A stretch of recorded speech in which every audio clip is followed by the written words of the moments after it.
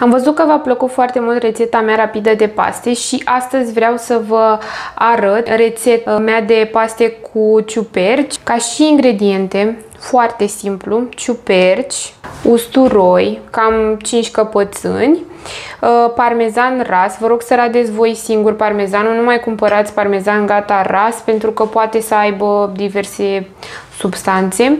Smântână pentru gătit, eu am folosit 400 de mililitri cu 15% grăsime și bineînțeles pastele. Având în vedere că doar ce am venit de la birou și nu am avut alt tip de paste, am, o să folosesc penele, dar aș fi mers pe uh, fetucine sau chiar spaghete. Uh, pătrujel pentru ornat. Asta este smântâna pentru gătit pe care am folosit-o eu, nimic am folosit două pachete din acestea, nimic uh, fancy. Și hai să trecem la treabă. În primul rând o să pun o oală mare cu apă la fiert. Primul lucru, să fierbem apa. În timpul ăsta o să pregătesc ingredientele pentru sos. O să folosesc 500 de grame de ciupești pe care o să le feriez. O să vedeți că ele o să scadă în volum. Am tocat ciupercile. Primul pas. Acum o să mă ocup de usturoi. Practic, e bine că avem de pregătit doar două ingrediente și anume ciupercile și usturoiul. Mi se pare, nu știu, mi se pare un vis.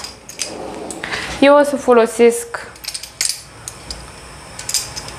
acest uh, device, cum să-i zic acum, cu care o să pasez usturoiul. Bun, am pregătit usturoiul, ciupercile și o să mă apuc de sos. Pentru sos, în tigaia în care se încinge, adaug cam o lingură și puțin de ulei de măsline, adaug usturoiul.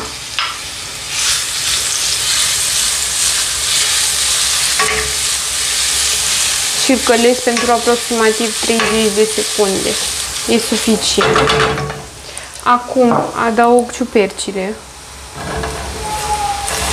Ele vor scade în volum foarte rapid. Amestecați bine ca să ajungă usturoiul printre ciuperi, să nu rămână acolo pe fund și să se ardă. Și mai amestecați din când în când.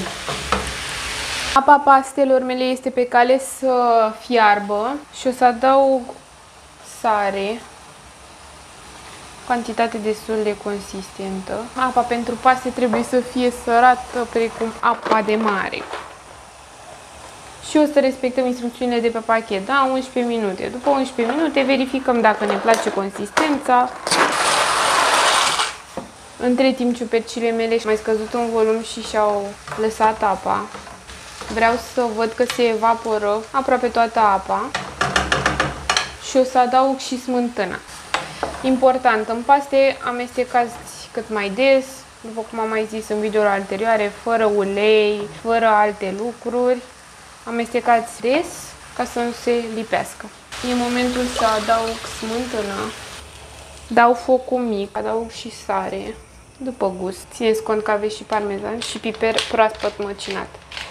Sare și piper, atât, nimic altceva. Îl las cam un minut așa până dă în clocot și apoi o să adaug apă de la paste. Sosul meu a dat în clocot. O să adaug și una, două, deci am adăugat trei polonice. Sosul meu a devenit destul de cremos și acum o să adaug parmezan. Și o să amestec. Puteți să păstrați și niște parmezan pentru decor. Și pastele sunt aproape gata, ceea ce e perfect, toate la timp. Am împreunat pastele cu sosul. Le-am pus într-o farfurie și le-am ornat.